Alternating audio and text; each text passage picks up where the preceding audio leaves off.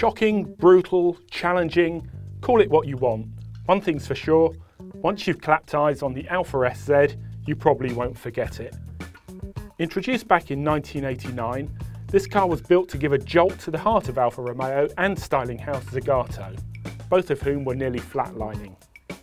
As expensive as a Porsche 911 Carrera, but much, much rarer, it was a specialist thing then, and the SZ's design remains massively divisive to this day.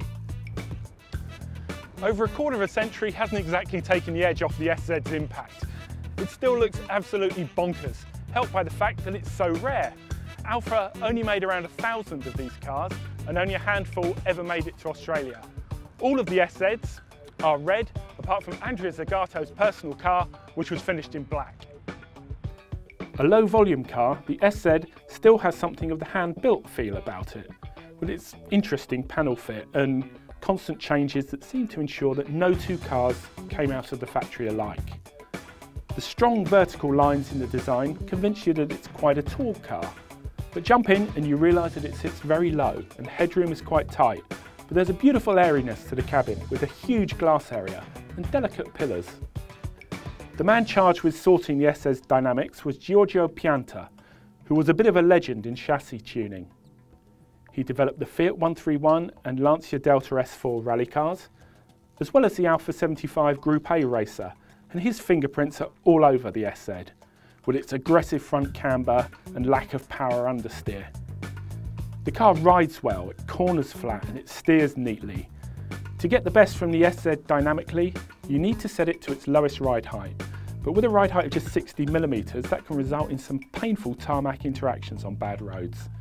In true Alfa style, the car chatters to you as you drive, the cabin creaking and drumming, the suspension chirruping, and there's that characteristic tappity sound of the engine that's a constant accompaniment. It's got character, and as we know, character goes a long way.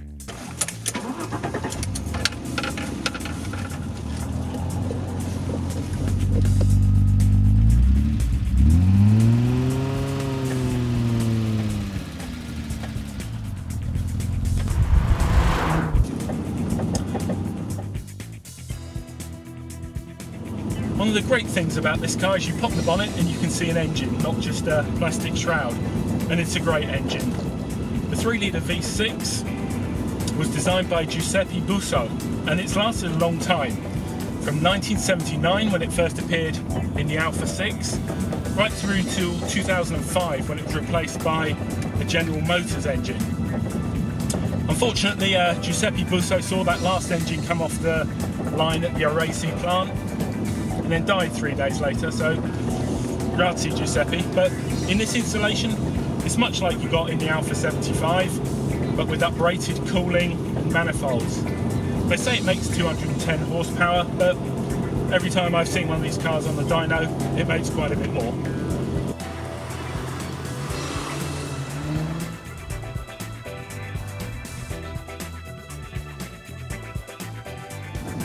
As successful as it was at making headlines, the SZ didn't do a lot for Alfa's bottom line. In fact, it's reported that they lost money on every single car that they made. What's more, there was a slap in the face for Zagato when Alfa put out the tender for the 1995 GTV and they chose Zagato's bitter rival Pininfarina. By that time, Zagato were in a little bit of trouble and they were reportedly making more money doing industrial design on things like forklifts and trains. Sad days.